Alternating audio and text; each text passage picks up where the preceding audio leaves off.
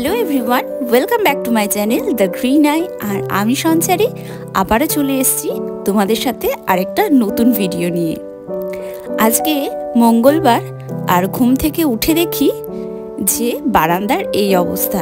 এখন প্রায় সাড়ে সাতটা, পৌনে আটটা মতো বাজে। কালকে যেহেতু সোমবার ছিল স্নোফল হয়েছিল, সারা রাত ধরে স্নোফল হয়েছে, কিন্তু সকালের দিকে মনে হয় ভালোই বৃষ্টি হয়েছে। কারণ রাত্রিবেলা যে পরিমাণে স্নোফল হয়েছে, তাতে প্রচুর স্নো থেকে যাওয়ার কথা। কিন্তু এতটা গলে গেছে, তার মানে ভোরের দিকে ভালোই কিন্তু বৃষ্টি হয়েছে। ঘুম থেকে উঠেই আগে দেখতে চলে এলাম যে বাইরের কি অবস্থা। ক্যামেরাটা হাতে নিয়ে তাড়াতাড়ি করে একটু ভিডিও বানিয়ে নিলাম।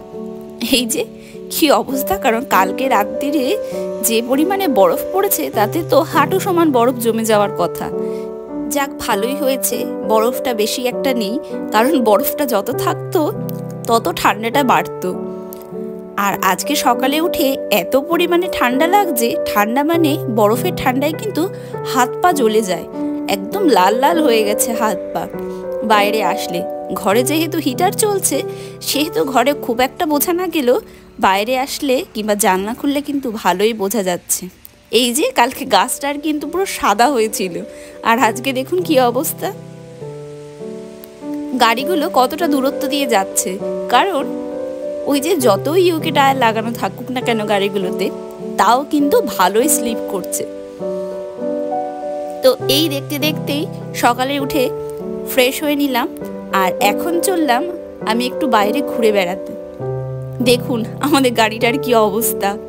আর চারিদিকে সবার বাড়ির ছাদের ওপরে পুরো সাদা, যেটা বারান্দা থেকে আরও ভালো দেখা যাচ্ছে। আর এই যে আমাদের রুমের সামনে দিয়ে রাস্তাটায় এই অবস্থা হয়েছে। মনে হয় গাড়ি গেছে, সেই জন্য একটু হাঁটাচলা করা যাচ্ছে। নয়তো যেখানে যেখানে এখনও উঁচু উঁচু হয়ে রয়েছে বরফ, সেখানে তো পা দিলে বেশ খানিকটা পা ডুবেই যাচ্ছে বরফের ভেতরে। রাস্তার কিন্তু খুব খারাপ অবস্থা। এখন হাঁটতেই ভয় লাগছে যে স্লিপ কেটে পড়ে না যায়। বরফ পড়তে যেরকম মজা লাগে, বরফ পড়ার পরের দিন থেকেই হয় বেশি কষ্ট। এক তো জুতোর নিচে বরফ কেমন জমে জমে যাচ্ছে, আর বরফ ভালোই শক্ত হয়ে গেছে কারণ বৃষ্টি হয়েছিল তাই। এই দেখুন, এখন একটা গাড়ি যাচ্ছে। তো গাড়ি যাচ্ছে বলে আমি একটু সাইড দিয়ে দাঁড়ালাম যে চারিদিকে একটু ভিডিওটা বানিয়ে নিই। এই যে সবাই সবার বাড়ির সামনে খানিকটা করে পরিষ্কার করে দিয়েছে। আর যেসব জায়গা ব্যবহার হচ্ছে না, সেই সব জায়গাগুলো ঠিক এইভাবেই রয়েছে। এই দেখুন, বাড়ির সামনেটা পরিষ্কার করা। আর এই যে, হাঁটা পথের যে রাস্তাটা, তার অবস্থাটা কি? এই যে একজন এসছিল, সেও আমার পেছন পেছন টুকটুক করতে করতে আসছিল। দেখুন কি অবস্থা চারিদিকে। আর এই যে বরফের ওপর দিয়ে মানুষজন হেঁটে হেঁটে গেছে, আর এই সব জায়গায় কেমন জল জল, আর বরফগুলো পুরো শক্ত। প্রচণ্ড পরিমাণে স্লিপ কাটছে, যেরকমটা হয় আর কি। তাই মনে সাহস নিয়েই খানিকটা এগিয়ে যাচ্ছি সাইকেলটা নিয়ে, বারবার করে দাঁড়াচ্ছি আর এগিয়ে যাচ্ছি। ভয়ও লাগছে। আর এই যে আমার অবস্থা। এখন চলেছি কাজের উদ্দেশ্যে। যাই সাড়ে আটটার দিকে, কিন্তু আজকে আটটা পাঁচ দশের ভেতরে বেরিয়ে পড়েছি।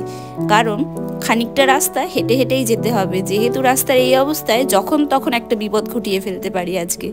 তাই আগে আগেই বেরিয়েছি। চারিদিকে এত ঠান্ডা লাগছে যে হাত পা পুরো জ্বালা করছে, এতখানি চাপিয়েও গায়ের ওপরে। তাও কি পরিমাণে স্লিপ হয়ে গেছে আর বরফগুলো এত শক্ত হয়ে গেছে যে ভয় লাগছে রীতিমতো।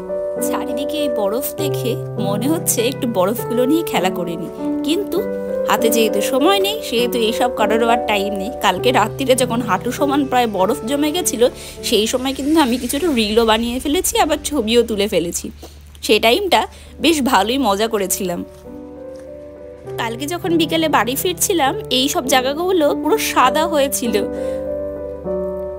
সুন্দর লাগছিল চারিদিকটা দেখতে। আর ওই যে দেখুন, সবাই হলো সাইকেল নিয়ে ওই ট্রেন লাইনের নিচ দিয়েই যাচ্ছে। মানে বুলেট ট্রেনের নিচ দিয়ে হলো এই যাওয়ার জায়গাটা। রাস্তা করা আছে, তো এখানে বরফ টরফ খুব একটা পড়েনি, যেহেতু ওপরে শেডের মতো আছে তাই।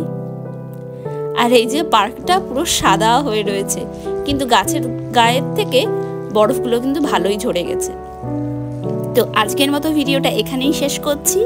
দেখা হচ্ছে আমার নেক্সট ভিডিওতে তো। আজকের মতো বাই সকলে ভালো থাকবেন, সুস্থ থাকবেন।